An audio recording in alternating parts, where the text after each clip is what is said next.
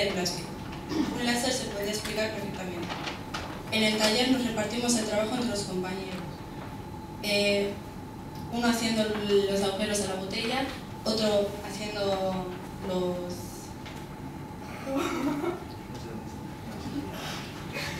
los planos y otro envolviendo la parañana para que sea más oscuro y se vea mejor la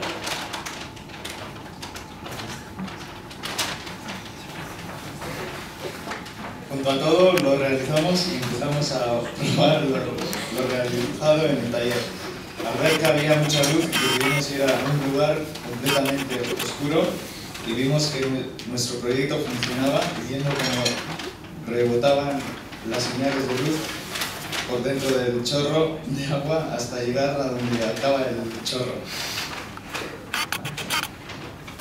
Muy bien. Bueno,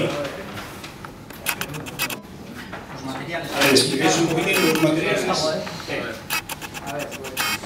Esto es agua con jabón y ¿Un mentol para qué? Para que la luz... sí, para que se notara más la luz al pasar el agujero. Explicarte más. Ahora tenemos Y la luz, la fuente de luz, ¿de dónde la sacáis? un láser.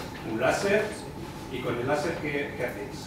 Lo posicionamos con esto y que apunte hacia el agujero de la botella. Ajá. Y mediante un agujero que tiene la botella va cayendo el agua. Y el agua que va cayendo baja también con, con el láser, la luz, por la reflexión. Y eso. Eso es. ¿Os lo creéis? Sí. Os lo creéis porque, porque lo habéis visto.